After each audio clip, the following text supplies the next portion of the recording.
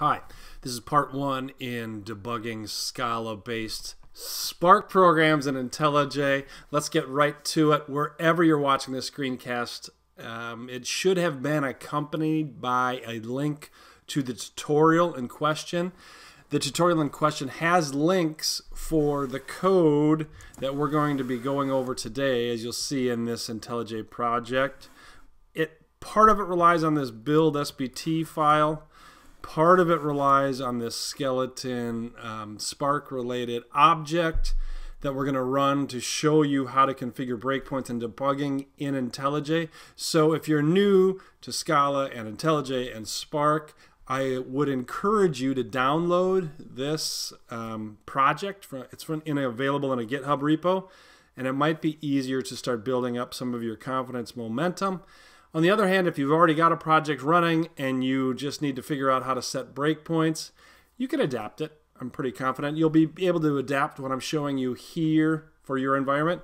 And at the time that you're watching this, you might have a different version of IntelliJ. So I'm going to show you two different ways to configure IntelliJ to set breakpoints and run things in your debugger. And it should the first way that I'm showing you has stood the test of time for a while, and then the second option is available in newer versions of IntelliJ.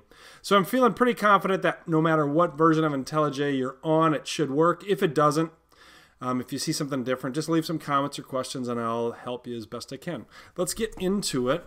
Um, what you'll see here so far is something that we'll come back to later in this skeleton object.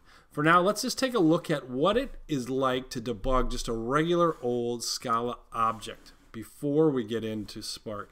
So we'll call this Hello Mundo. We'll make it an object. We're not going to add it to get, and then we'll add a, a main for it. And then we're going to not make it too exciting. We're just going to do some println statements. So how do you set a breakpoint and run it in a debugger with a regular old Scala object such as hello mundo here? To set a breakpoint, click over in this area and you'll see the indicator of a breakpoint here with this red circle. Next, you can right click here and say run in debug mode. You'll um, or you can come over to the package and go here and say debug hello mundo. You'll see a shortcut there as well. Now this program isn't very interesting when it stops here in the debugger, but it highlights that we can see and inspect the variables um, of this particular program. Now, as I just mentioned, there's nothing really interesting here, and we'll be able to see if we continue here in the console our ASDF. So this is setting the stage for the Spark skeleton object, which we'll now attempt to debug now it, next.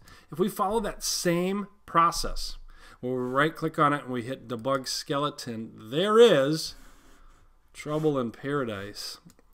No class found. Now, how do we get around this? How do we get back to running um, in a debugger? Also, I think I skipped here. I, I've got a couple. I've got a breakpoint here, and I'll put another one I'll put another one here as well.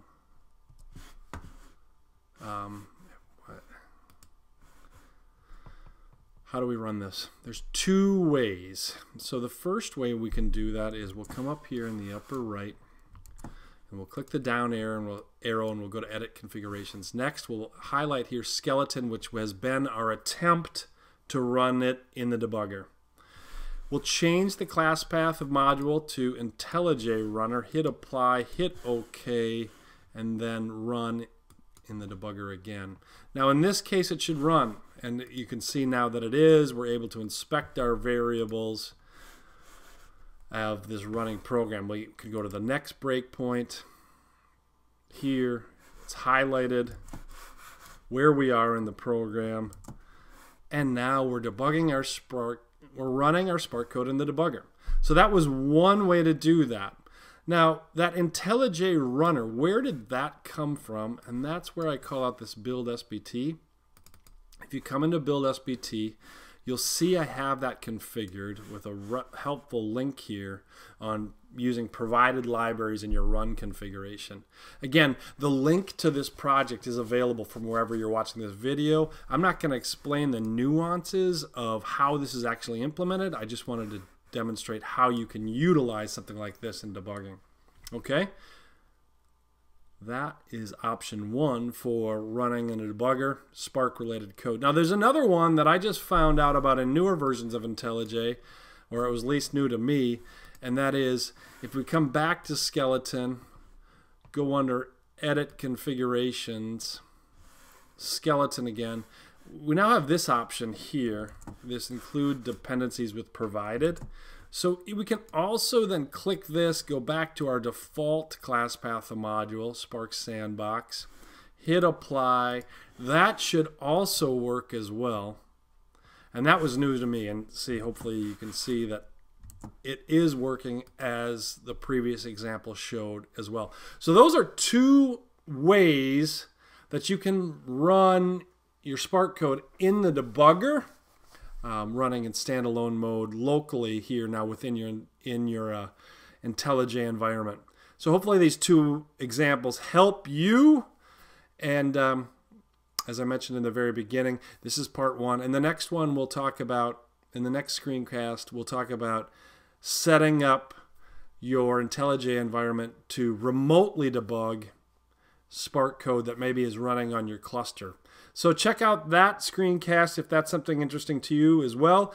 If you're brand new, start here, get your feet wet, as they say, with this screencast, um, and then move on to the next one. Hopefully this helps. Take care.